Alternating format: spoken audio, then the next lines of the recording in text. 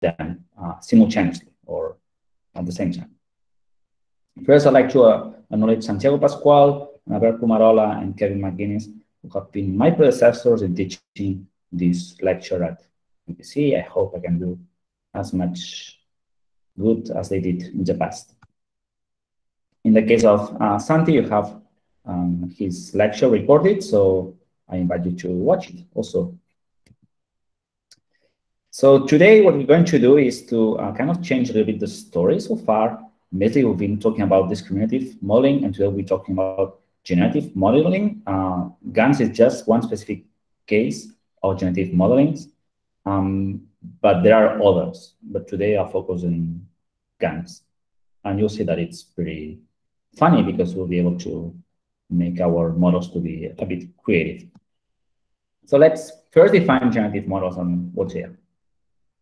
So, so far, basically, we're looking at these two types of problems. Most of the time, we've been looking to classification or regression problems. So when we're looking at text, maybe we're trying to find the sentiment of a tweet or looking at the image and figure out like what's the sentiment of this cell over here or what's the language that's being spoken.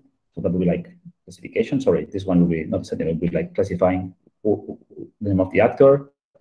About regression, maybe we we're looking at, on checks by looking at the at the profile of a of a person. We, we may be able to estimate the probability of that person to be a potential customer. Or if we are trying to regress bounding boxes on images to detect faces, that would be a regression task we can address. Or if we are trying to go from one language to another, we could think that that's a regression task, although I guess we can discuss a bit on this. But today, what's important is today we want to generate data. We want to generate new data. So we want to write checks that looks realistic or at least that it's useful. Okay, so this text that you see here, it's uh, kind of generated and it's supposed to be kind of related about uh, Harry Potter books, or at least there's a word Harry, there's a word Ron, what about Ron Magic of Ron to Harry? Ron was a loud, slow, and soft bird.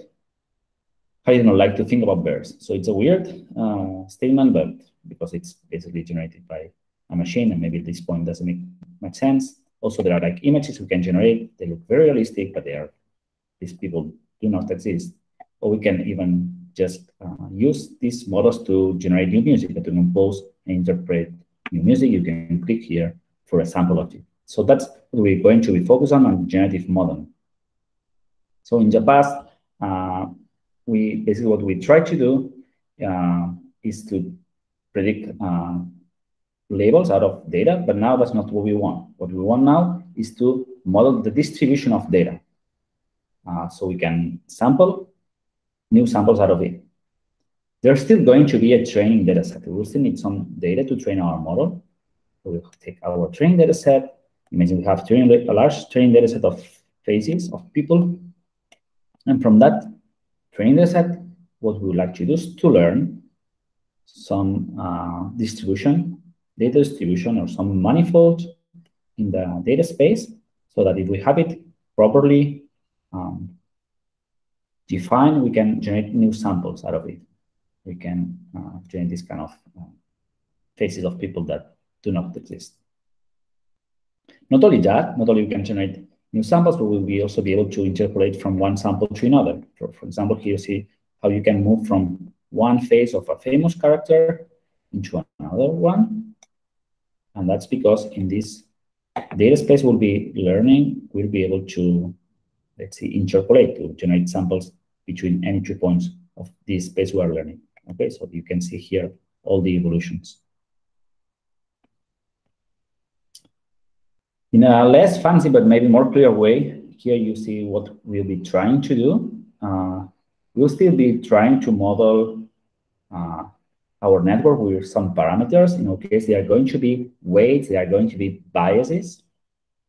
And we are going to, um, based on these weights and biases, to go to modulate the data of our model, hoping that the probability of distribution of data of our model will match the distribution of our trained data that sometimes we will refer to it as P of data or P of X. If you can do that, later we'll be able to sample new points. For example, imagine that we have this, this toy example in which our training examples are the samples in green. As you can see, the samples in green, they seem to follow a Gaussian distribution in the sense that most of the samples are in the center, not that many in these queues. So by looking at this data, it will be possible to estimate the, the mean, the standard deviation, and with these two parameters, we could predict the distribution, the distribution, and if we have the mean and the standard deviation, we can also generate new samples that follow, in this case, a Gaussian distribution. However, in our case, we'll be uh, not be assuming that we have a Gaussian distribution. We have a neural network that can uh, approximate any function, or at least as a theory, right? Or at least very complicated uh, functions, much more complex than a Gaussian one. If we can do that, we'll be able to generate um, very uh, realistic data. Again, let me insist, this is not about an architecture, so don't expect a recurrent layer or a graph neural network as Javi presented in the previous lecture. This is just uh, a concept of how what a generative model is, and in particular today uh, with GANs, uh, I will not really focus a lot on any architecture. You see that most of my examples, they are uh, based on convolutional networks because we'll be dealing with images, but that doesn't mean that you need to use convolutional networks to generate data. You can, for example, use these graph neural networks that Javi mentioned.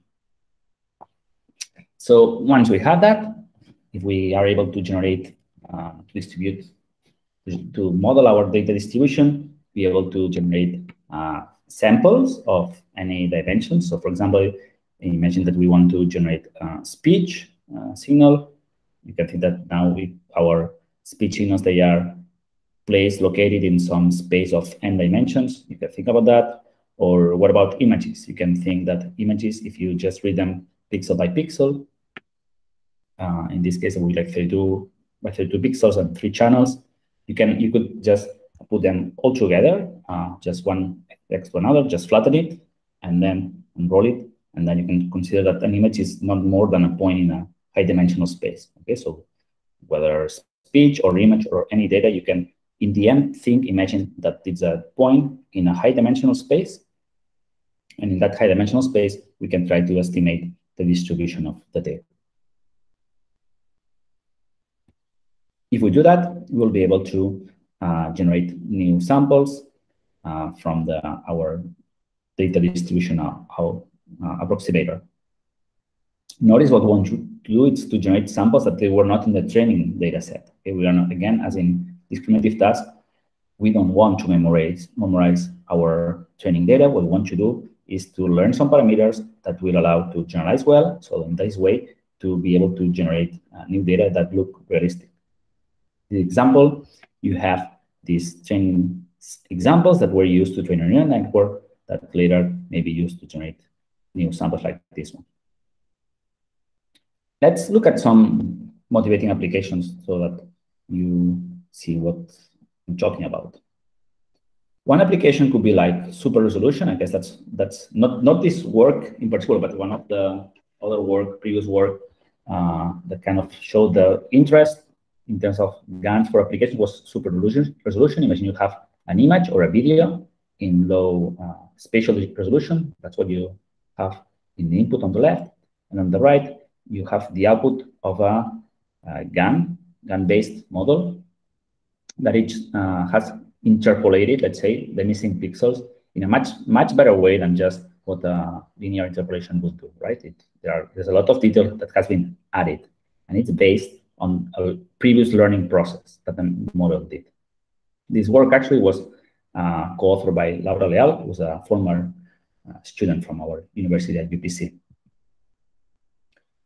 Or what about image translation? Uh, this other work, what it shows like by having uh, individual labeling of pixels, that's the first uh, image that you see, that's called the semantic map. So each color corresponds to a class. For example, the blue color corresponds to the class car you can feed that into a GAN so that it's going to generate a realistic view of a scene that uh, matches the pixel labeling that we, we, can generate. So that's a, that's a way, for example, to generate new training data. If you have a simulator you don't need to have a very super high resolution simulator. As long as it's good at doing the, the physics part, uh, you can have a simulator for autonomous driving, generate a large amount of data, even if it's as simple as this, as this child, and then have a Gannon chop that will actually produce uh, visually realistic uh, uh, output uh, of the video sequence. And again, we can have like um, a lot of data for training our neural networks. Oops, sorry. This uh, one of the um, also following on the idea of generating faces. That's a more recent uh, work called StyleGAN, in which they manage to, uh, let's say, uh, transfer style between this case of faces, or there are also like examples with uh, animals or, or, stuff. As you can see, uh, so in the the first uh, column, they are all generated synthetic faces. Okay, so they are always a, a male person wearing glasses. Second one, a female person wearing glasses. Third row, uh, child. Also like a similar pose and in face expression. Um, so you, we, we can transfer actually um, attributes, facial attributes or, or skin attributes across different synthetic faces, okay? Totally uh, generated. Okay, that's the example of the animals I had in mind. That's from our work, uh, StarGAN. It's kind of a similar approach, uh, more recent. As you can see, um, you can it doesn't limit only to faces. Here you can they use it for uh, broad amount of domains. I mean, in this case, that's animals, right? But all these images that you see uh, generated, um, they don't exist in reality. What about uh, if we go to video? Uh, in this work, imagine you have a source subject that's being recorded, doing some motion, and then a target subject that you collect a training data set. And then after that, what we're going to do is you have the source video here on the top left, over here. So this here, okay, the cursor doesn't move, but it's this server here. And the lady in blue uh, that was automatically generated, I will start again. Here you, you have, again, the source object, and this motion is transferred to this lady, is a training data set, okay? And now what you see uh, in the big screen is a source to target result, okay? In this case, they went through uh, the detection of the pose uh, you know, to that. And later I'll show you like another application that we developed at UPC uh, based on this algorithm. Another interesting application would be like for speech enhancement. In many situations, the spoken words they uh, they are they suffer distortion. Maybe there's a, a, cut in the communication. Maybe you are speaking on the phone. At some point, there's some uh, data packet loss at some point, or maybe you are in a concert or a recording studio and some part of the data was missing uh, it's possible to reconstruct or clean to clean up the data with uh, generative uh, models.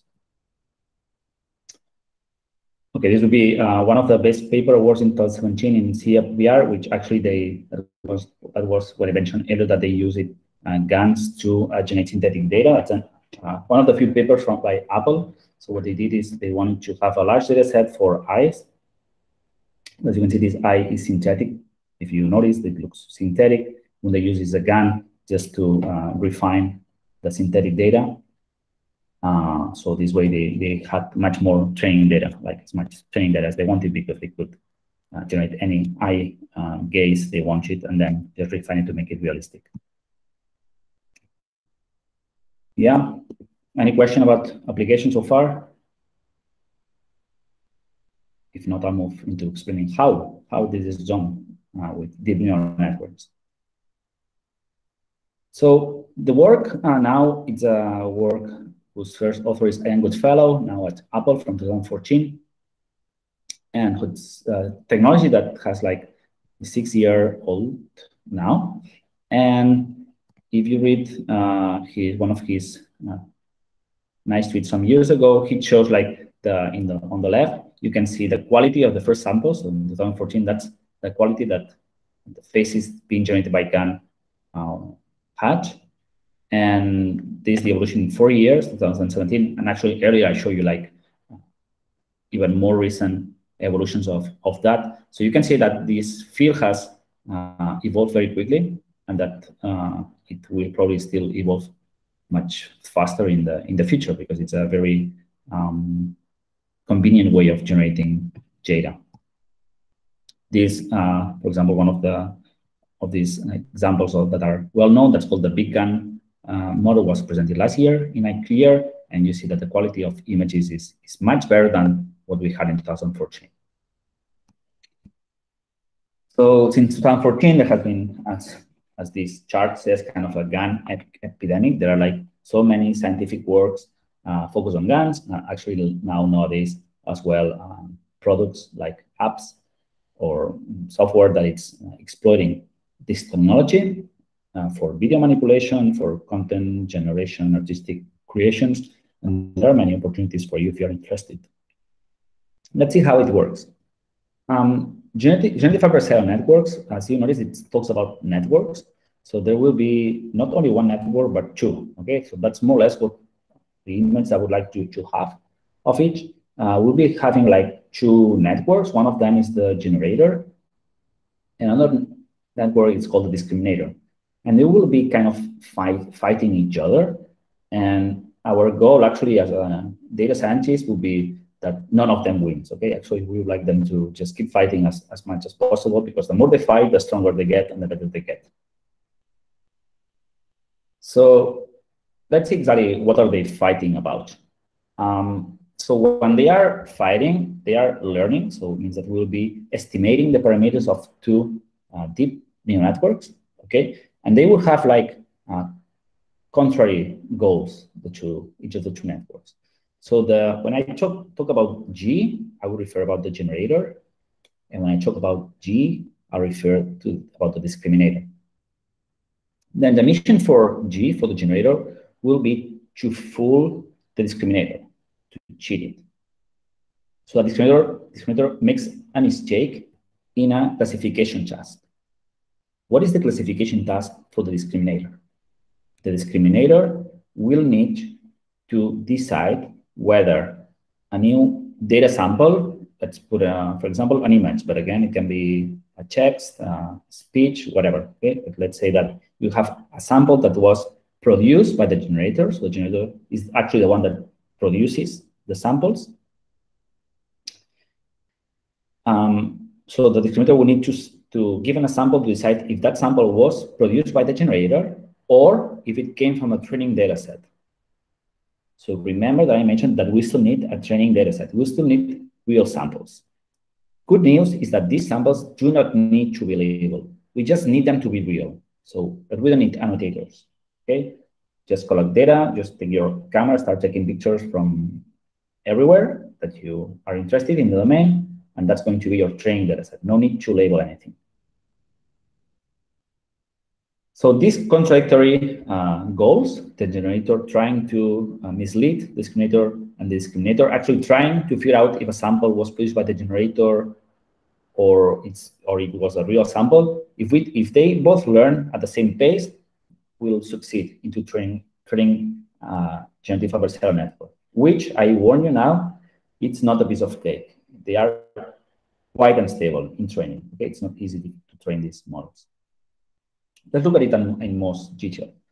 Um, so what the generator does, it's going to generate samples that will follow a probability distribution, which is the one that we want to make it be as close as possible to the real data distribution. We call this P of data. That's going to be our training data set. Then, so we have a neural network okay, that will be generating samples at the output.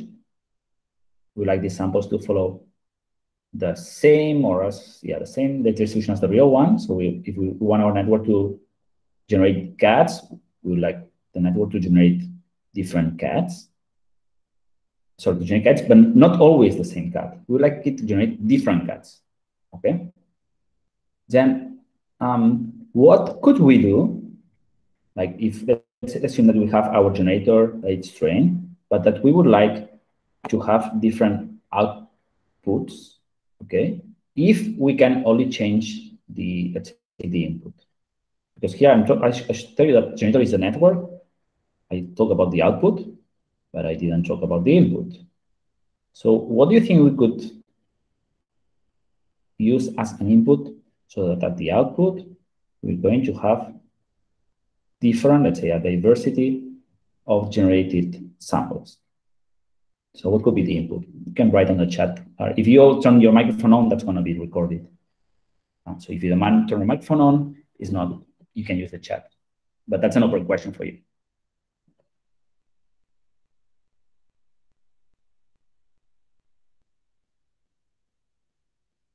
So some ideas, um, we would like some stochasticity here. We don't want the network to always predict the same cat because that's going to be very useless. So how, how could we uh, have some, introduce some, force some stochasticity into the network? So remember that network is, in the end, it's just a set of weights and biases connected with the neurons, whatever, convolutional or whatever neurons. But so far, what you what you have seen in the in the course is that when you feed uh, some input sample in a network once and again and again, the output is always the same, right? Okay, when, when so when you train your network with MNIST and you show a digit number two, and you feed that uh, image of number two, and then number two, and you feed again, you predict again number two, an example exactly with the same probability. So how can we change that? Okay, great. So there's a, we have, thanks, we have a, an answer finally on the chat. Um, so the suggestion on the chat, which is a very good one, is like we could random, uh, introduce some random white noise images, which is uh, a good option. I don't think, probably we don't even need it to be images. I understand that it might be easier maybe in terms of architecture, so maybe that make it easier. But actually, we don't we don't not even to to have 2D or or, or yet. I mean, never mind, right? Just some random uh, noise at the input, and so actually, what we're going to do, like on the baseline baseline architecture will be just sampling from some kind of Gaussian distribution. It could be 2D, it could be 1D, never mind. The, the architecture can take care later of um, make, making sure that the output is 2D and, and, and, in color. In this way, we can assure that there's some stochasticity at the output. Okay. Um, do you do you have do you know any any other way so that a network so the same network uh, to have some diversity on the output. So one method that you have seen when training neural networks, uh, which was very useful to avoid overfitting, and that probably when we talk about it, they said use that only on training, never on test.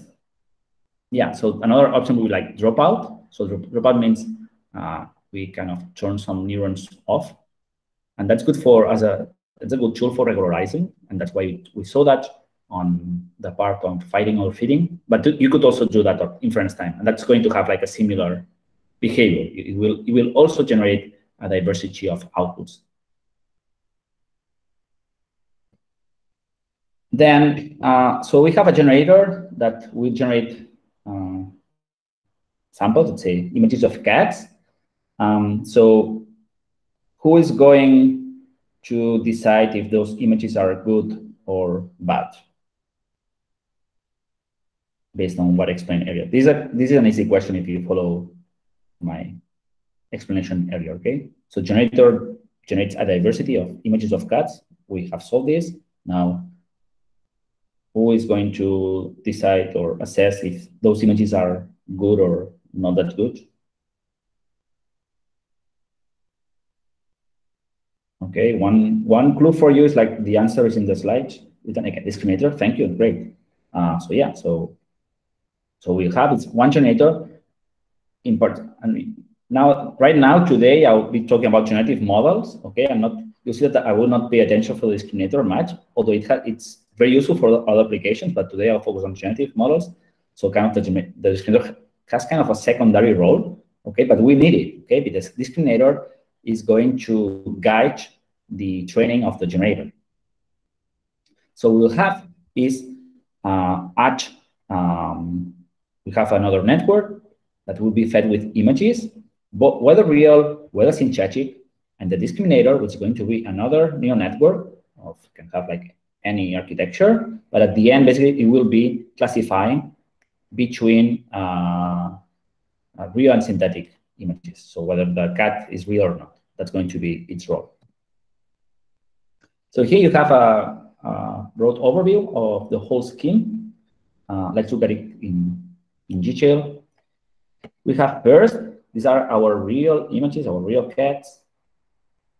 It's our uh, training data set, real world samples uh, database. And from this branch, so this part is just sampling. So it means taking samples from, from the training data set. And we show real images here. And on the other branch, we have a latent random variable, our noise that we mentioned. We feed that into a generator. That's going to be, again, a neural network, whatever architecture. We don't, don't pay attention to the architecture. It just This just means whatever architecture. And this is going to generate images, okay? And maybe when it's learning, the cats that it's generating are not that realistic. Maybe it kind of generates more like a new walk or a draft. It's, it's totally like, just to make an example, okay? But this will not happen. It will generate some blurry cats. But just to, to explain the story, let's say that generator will must learn how to how to generate images of cats, right? And then we have the discriminator. There will be another network. Again, never mind about the architecture. And the discriminator will be predicting whether the input, so sometimes we'll feed real data, sometimes we feed uh, synthetic or fake data. The discriminator will need to decide about the prediction. As we know, as we will always know, what are we showing to the discriminator? We will always know if the sample we feed here is real or it's fake. We will have kind of a ground truth label, and we want to compute a loss to, to compare the predictions of the discriminator with our label. Okay, let's say typically we can think about our label is a one hot encoding, let's say one zero for real and zero one for fake, for example. That could be a, an approach. In terms of architectures, as I mentioned, that you could have like any architecture you can think about. Just here as an example, uh, you have one generator that uh, was one of the first ones uh, proposed to generate images in which you fed at an input a code of with a random variable of uh, dimension 100 with code Z. And there were like some upsampling convolutions, and at the end there was an image of, in this case, 64 or 64 and the three RGB channels. This could be one of the first uh, architectures used for image generation. Let's about uh, how to train these two networks. Okay, well, it's quite clear. We have two networks. We know what we want them to do. Let's see exactly how we train them. So I'll start with an analogy because this training will be very iterative. Will be actually will be uh, it will be kind of a trial and error, especially for the generator. Let's imagine that we have an analogy, which is we have a counterfeiter. So this counterfeiter, which its goal is to, uh, he wants to create, generate fake money, okay? And then there's the uh, law enforcer or police that will try to stop uh, the counterfeiter to generate fake money and to fool uh, its citizens, the rest of the citizenships, okay? So let's, at the beginning, the counterfeiter is really bad at generating fake money, and he shows this white rectangle to the with the 100 written uh, to the police. The police compares the real notes with the fake ones and says that's very easy, okay? And actually, it kind of gives tips to the counterfeiter, like, okay, it's not, it's so easy, like, It's not even green, right? So with this information, the counterfeiter will learn to improve its output, its outcome. So now the, the node it's, it's green, but still the police says, oh, but there's not, not even a watermark. So it doesn't have this nice logo here.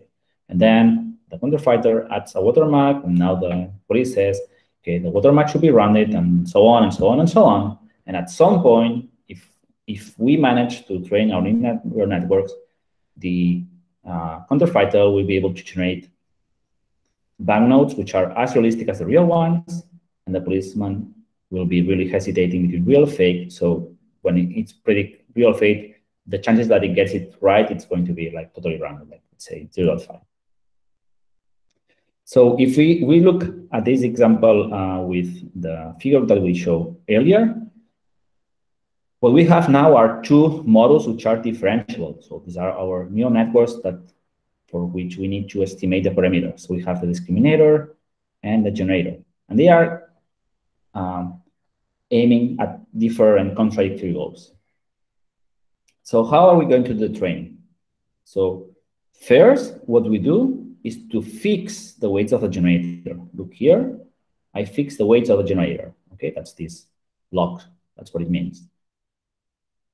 What we do now is uh, with we so whatever weights the generator has, the we start feeding with uh, sampling from our latent variable, our noise. Let's say it's still generating samples. At this point, at the beginning of the training, it's, it's really bad. It's just generating random images. While on the other hand, we have real world images like these ones that we show to discriminator. And now at this point, what we'll be doing is training the discriminator. So we'll be just computing the loss for uh, these images, for these other images, see the, the prediction of the discriminator, and then backpropagate gradients to the discriminator and update the parameters. And we do that for a few iterations. After a few iterations, we change the role. Now we lock the weights of the discriminator. They will not be changing. They are fixed. We unlock the weights and parameters for the generator. We uh, feed the random variable. We generate fake samples. The discriminator does the predictions. And what we want now is just the opposite of, of, of, of in the previous case, if, if uh, earlier when we were showing fake uh, examples for discriminator, we, we had a loss that was kind of encouraging that these um, images would be labeled as fake. Now we totally change our loss, and now we have a loss that will encourage that these, sorry, that the images that come sampled as synthetic they are labeled as real because now we are training the gen generator. At this point, we don't care about the discriminator. We want the discriminator to do a very bad job. We want to fool the, the discriminator. So now we change the labels and we want the generator to the discriminator. So we want that these images that we sample, they are labeled as real. Okay, you need to do this in, in the lab uh, this week.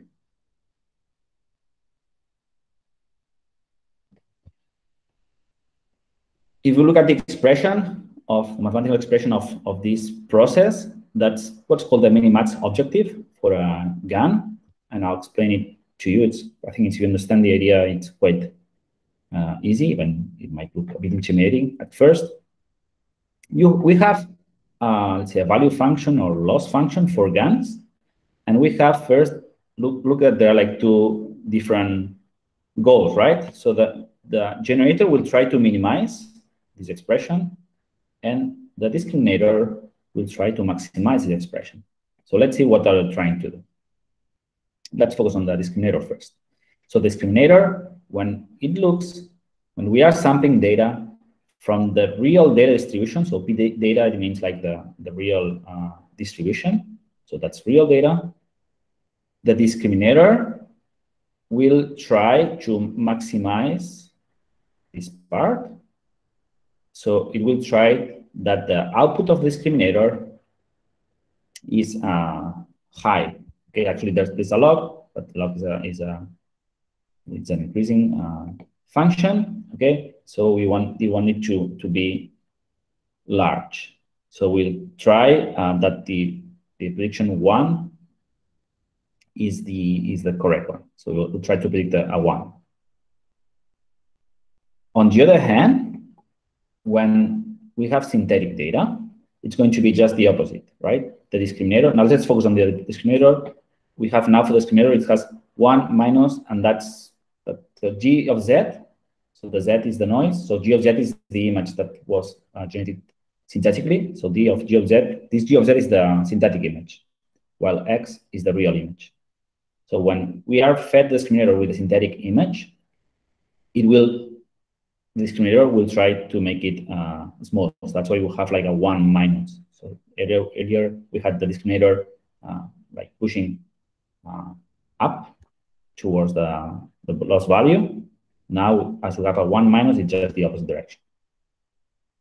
On the other hand, if we focus in this term, if we now we forget about the discriminator and we focus on the generator, it will want actually just the opposite of the discriminator. So if the discriminator wanted this term uh, to be, um, so he wanted this term to be uh, large, okay, the generator will try just the opposite to make it small. So we're trying to minimize, okay? So that will be the mathematical expression for GAN. In a qualitative way, uh, what's happening here and why uh, adversarial loss is held, let's say compared with a mean square, square error solution, is that um, GANs kind of force the networks to take a decision. So if you tried uh, the network with only the mean square error, that's something that we could do. We could, um, when in order to, when we are uh, predicting like this uh, output one or, one or zero, okay, um, we could just have a mean square error here to predict to, to compare as a loss function. Okay, if you we take the loss function as uh, as a mean square error error, what the network will try to do is kind of um, not take a, any hard decision. Like you will try to, to minimize the loss, like on average. So when we, let's say that you, you need to sample images, uh, crops like this, and all of them, they, they kind of look, they are, these are all like real crops, okay, of whatever image. I said, I don't know what is, what is that. But if, if that's your training data, if the samples in, in red are our training crops, and we use a mean square error based solution. The mean square error based solution, so with no adversarial loss, it will tend to generate samples. They are that they are kind of the average, because in the end, the average solution that's what minimizes the mean square error. And then if you try that, you you'll end up with samples that don't look realistic, but they kind of look blurry. On the other hand, if we try with uh, GAN uh, loss, we'll generate samples that are look much more realistic. That's what you have observed. And actually, in many cases, what you do is we combine GAN adversarial loss with uh, with uh, other perceptual loss. Then, if you want to train a GAN, there are many tricks. They are very unstable to, to train. So I strongly suggest that you look at this tutorial that from Soumith Chintala on how to train a GAN. Okay, actually it was presented in Barcelona. In Europe in Barcelona, it was the year of the GANs, and there was so much uh, hype on this. And there were, and he gave a very nice tutorial, actually, like other speakers also also uh, told there. Then um, there's a variation of GAN in which, what if instead of just having a random seed for the generator, why don't we condition the generator? So we kind of now we want to have some control. Don't just feed noise into the network, but let's let's let's try to to control what's being generated. So what we could do is I imagine that we have like um, some condition, let's say sketch of a of a of a sneaker or a shoe, and then we would like to have it like to condition the generator so that the output sample it's it should match to this condition. So this, in this case of this sketch. That's what's called conditional GANs or C-GANs.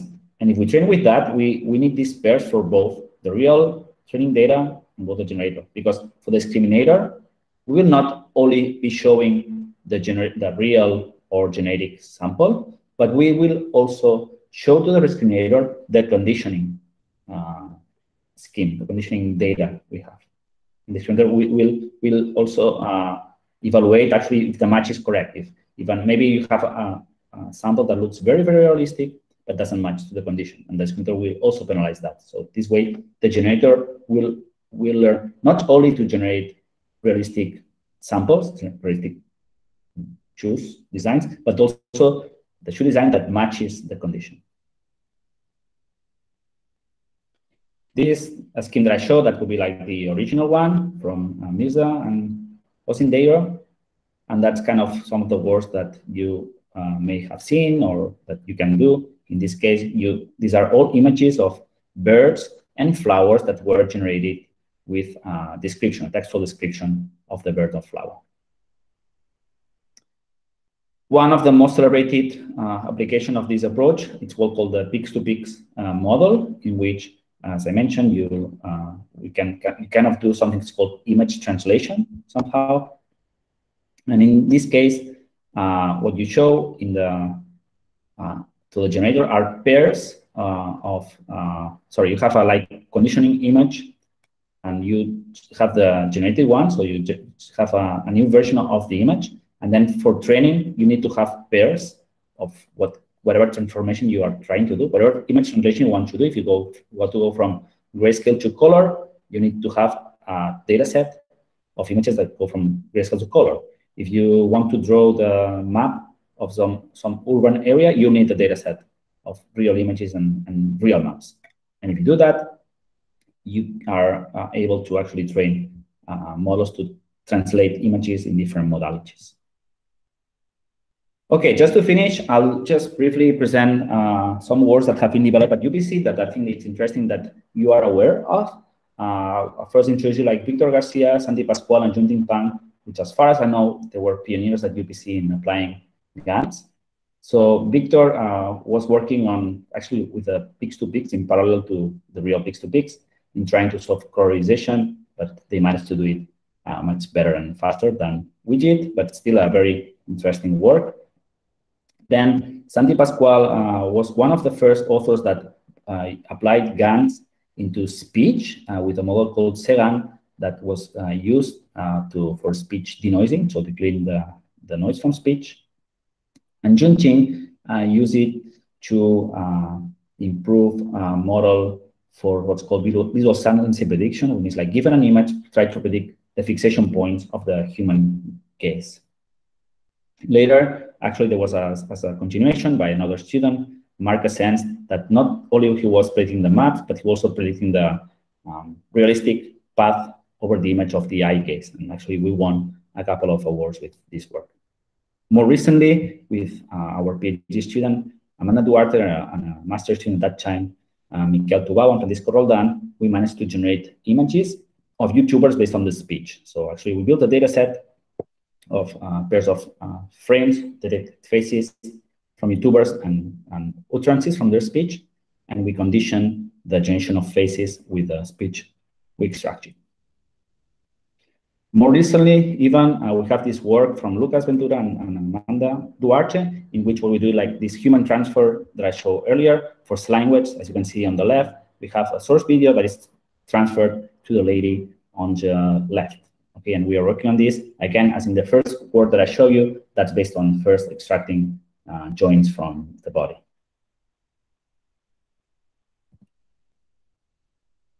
From another group, from the Institute of Robotics, uh, industrial in robotics, IRI.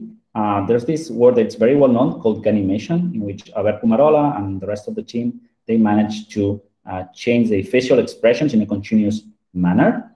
Um, this work, actually, it was awarded two years ago in ECCV. That's one of these very big conference in artificial intelligence.